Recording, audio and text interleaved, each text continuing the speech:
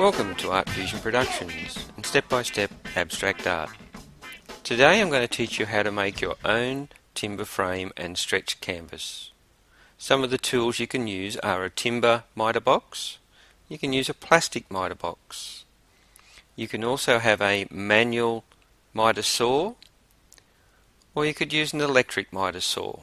All of these will work fine.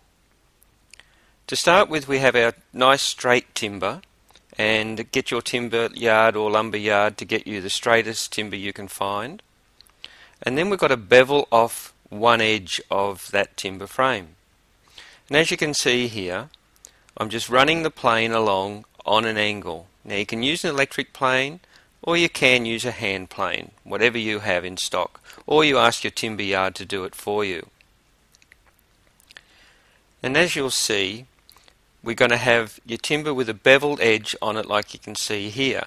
It doesn't have to be perfect as long as it's beveling away from one side to the other.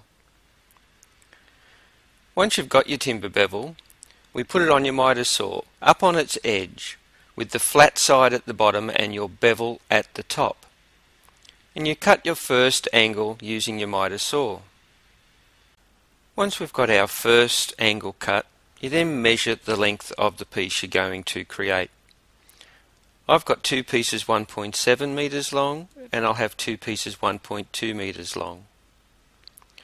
Once we've measured those we can then go to the other end and cut the second miter off. Being very careful you've got it in the right position and you're cutting it in the right direction. Always cutting inwards so when you put it together they join at a 45 degree angle. Once you've got that one cut. I'll show you close up. You need the high end to the back of the saw and the low end to the front of the saw. We can then turn it round and cut the other end of a new piece and just keep on going until we have our four pieces all cut and ready to assemble. Always be extremely careful when using your electric miter saw.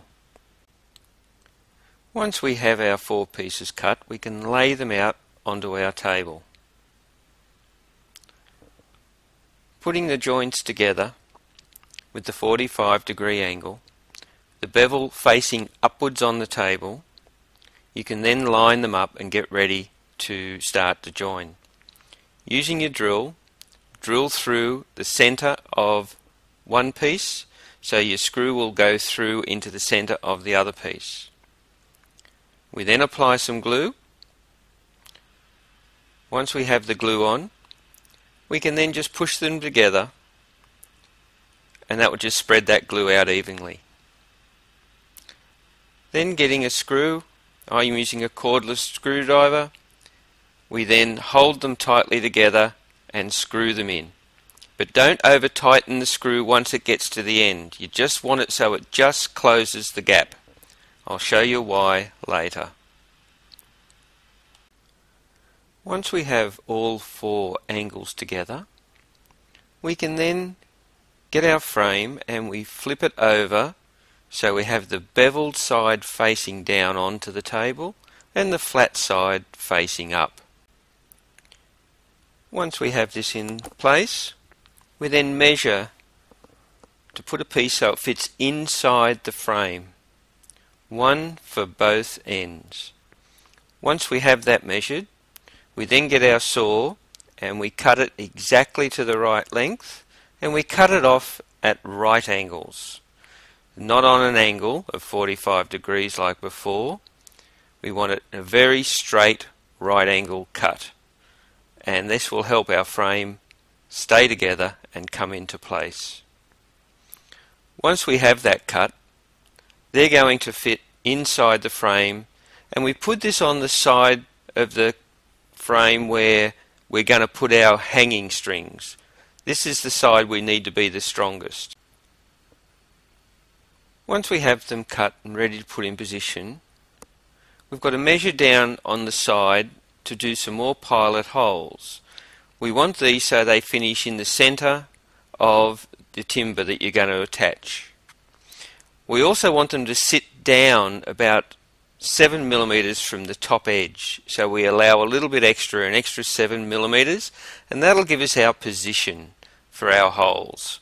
And you'll see that a little bit later in clearer detail. I'll do a close up for you so you can see what we're doing. So we put a hole in each end, one in the middle, and then one in between each of those again. So this gives us five holes to do. Once we have the holes drilled, we just take off any burrs that might be sticking out. Get our timber, put it on its edge, and we run a bead of glue right along. Only a thin bead, you don't need a lot. This is a PVA wood glue that we're using. A little bit of glue on the end, and a bit just inside where it's going to meet up. Do the same down the other end as well. We then put the timbers in its right position making sure it's in at both ends. And as you can see here, I've got it dropped down about 7 millimeters down from the top edge of the main frame. Then we put our screw straight through and hold that in position. Once that's in position, we then put another screw in the other end. And this is where your right angle is very important because when we screw this one in, that pulls the timber together at a right angle and squares the frame for you. Once you have the one end in, you go to the other end and just repeat the same motion, making sure you're the 7 millimeters down from the top, put your first screw in, go round to the side, and put another screw in just along a bit further, and then we go to the other edge like we did on the last one and put the screw in here which pulls the frame in nice and square. Just tighten those screws up that little bit more once it's together and you're right. Now we've got to put our centre rails in. So we've just got to evenly space them. I'm putting two centre rails in so I need three even space sections. All we do is measure out our distances. So we put a pencil mark where each centre run rail will go. And we do this just at both ends, measuring them exactly the same to make sure that they're going to run parallel with each other, which all helps keep the frame nice and square. As accurate as you can be, because the accuracy on all of your measurements give you that finished product of a nice, square, straight canvas. Then we cut the two rails to fit into that space exactly the same as the rails on the outside edges. That way again you have the same length of timbers on all four. Now we're going to attach the centre rails. Same process as before, put our drill pilot straight through, allowing for the 7mm drop down from the top of the rail. We'll apply some glue onto both edges so we get a good strong grip and then just with our screws we've been using we're just going to drill that through and screw them in so they're nice and tight and you'll see when they're tight because the glue will squeeze out. Then that's all we have to do to put our centre rails in. We'll go around and follow through with the whole four so just repeating the process and once you've repeated that process screwed them all into place. This should give you a square canvas ready for the final stages to get this frame nice and solid and ready to be stretched with canvas.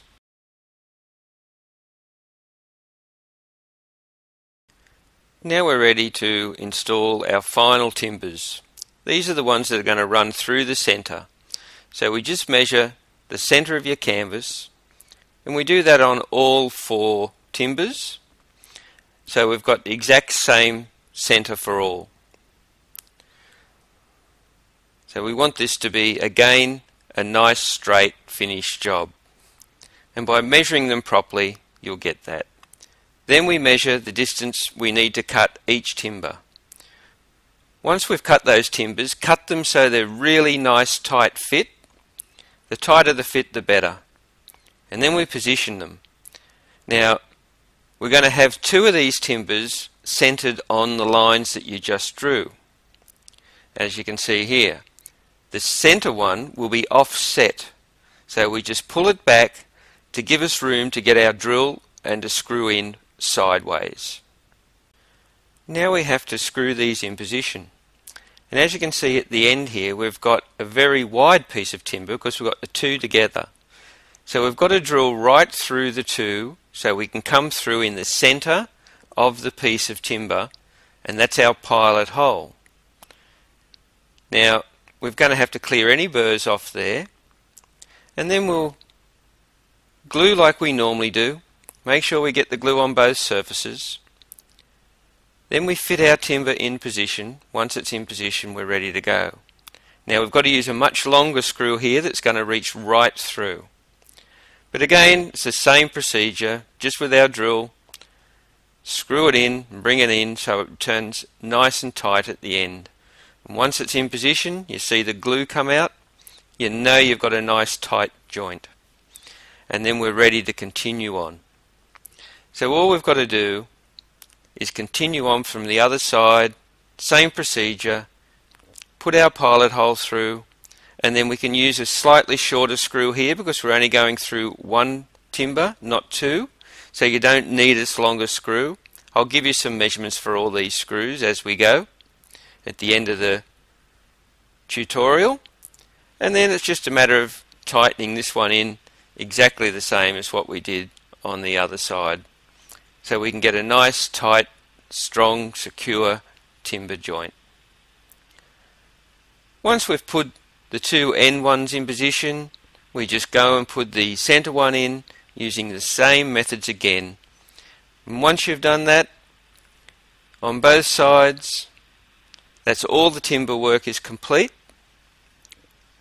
And you have a nice strong secure frame ready to put your stretch canvas across. Once we're finished putting the frame together, get some sandpaper, just wrap it round a bit of scrap timber, and we want to sand off all the sharp edges right round the frame. So the top and the bottom of the frame, the corners especially, we need to sand those around because those sharp edges can end up tearing your canvas when you're stretching it across it. So you've got to be very careful that all those sharp edges are off. And as you can see, I round off the corners especially. I don't want those sharp where they can dig into the canvas and start a tear when you're stretching it. Now here I've got an example for you as to why we have the beveled edge. It's to make sure that inside edge doesn't touch the canvas because if it touches the canvas when you paint it you can form a ridge which you don't want to have right round your canvas. Now we have your canvas on the table with the good side of the canvas facing down. We sit the frame on top of that with the beveled side facing down as well. We allow about 80 millimeters all around the outside of the whole timber frame so when we fold the canvas over we've got a good bit of canvas which folds over without having too much and you'll see as we go along how much I have folding over each side and that way we get a good cover. As you can see here once you fold it up you should be able to have about an inch or so. We start in the center just fold one side up and then we put some staples in to get us going. Once we've got that side ready we go across to the opposite side using our canvas stretcher pliers, we then put some tension on our canvas. Now, we don't put large amounts of tension. It's quite gentle, but just enough to stretch that canvas. Put too much tension on, you'll start tearing your canvas. Once you've got the tension on, hold it with your hands, fold it over with your fingers, and put some staples in. That gets our first stage done. Then we go to the other corners and do exactly the same thing. In the middle, just put a fold over, put some staples in, go to the other end, then we put some stretching tension on, hold it with our thumb, and then put some more staples in just to get us started. Now we want to start to try and even the tension out, especially on a large canvas you need to do this. We're going to go to each corner and we're going to put a bit of tension on each end. Now not too much tension, just enough to make sure the canvas is straight. We go on each corner and do the same thing. Just put one staple in and one staple only because you're going to remove these staples later. It's just to get some tension across the whole canvas so as you're doing your stapling along the edges it's going to be evenly tensioned. So we do that to the whole four corners and once you've got those ready you'll be right to then continue on and start stretching. Now by starting from those center points we just start working along putting some tension on the canvas and just adding staples as we go. I usually do about three staples at a time. Now, when we're doing this tension, I don't want you to put massive force on it and try and tighten it as tight as you can. All you do is destroy your canvas. The canvas just needs to be stretched out so it ends up just a nice solid surface. And all you do is just fold it over like I'm doing and just add staples. We just keep working our way down and go one way, then stop and then go back the other way until we eventually make it to the ends of each run. And once we've got to those ends, well then you'll start to see how your canvas is really starting to stretch together. Once we get to the end, this is where we remove that one staple you put in. That was just holding a bit of tension for you. So we remove that away. Once it's out of the way, we then just get our pliers and we continue just lightly tensioning here. I only want light tension on the corners because this is where you will split your canvas. You don't need much tension because you're only doing a very small little area. So you put your last staple about 20 millimeters from the end and you just go to all four corners and do the same and finish them all off the same on all four and then I'll show you how we fold and finish our edges for you. Now we're ready for your corner. Work out what side you want to fold it on. I always keep it to the bottom of the canvas so it's not seen. Then you just fold it across like as if you were wrapping a present. But what we want to do is take a little bit off the inside here so it doesn't end up as thick. So we just cut down to the corner, then turn our scissors upwards and go up so we don't take too much of the other side away. Then we just fold it back around just like we were doing that present and hold it in position. Now I'll show you again. We just fold it in, keep it tucked in nice and tight and with your fingers run it along and pull it up over the top and get a good bit of tension on there. Once you have it in position, put a couple of staples in, and then that holds that so it won't fall away. Now when we do this next fold, fold it nice and tightly. Don't fold it so the canvas is overhanging on the edge. That'll look ugly. Tuck your finger in, get it folded right in, and so it comes back on an angle. Once it's back on the angle, you will not see that once the canvas is finished. Put a couple of staples in, a few more down lower just to hold it all together. And that's a really neat corner that you have on your canvas. What I like to do is run a few staples just along this edge here and that holds it even tighter up against the side. And then when you paint over the top of that, that tends to disappear. So that's how you do an angle. Well, I hope you've enjoyed watching this stretch canvas come together. If you'd like to learn how to create abstract artworks of your own, go to the website and check it out. We have all sorts of information on everything to do with abstract art. I also have 13 art lessons, all different techniques, all in step by step and fine detail for anyone to be able to follow, especially if you're a beginner artist. So go to the website, check it out, and until then, happy painting.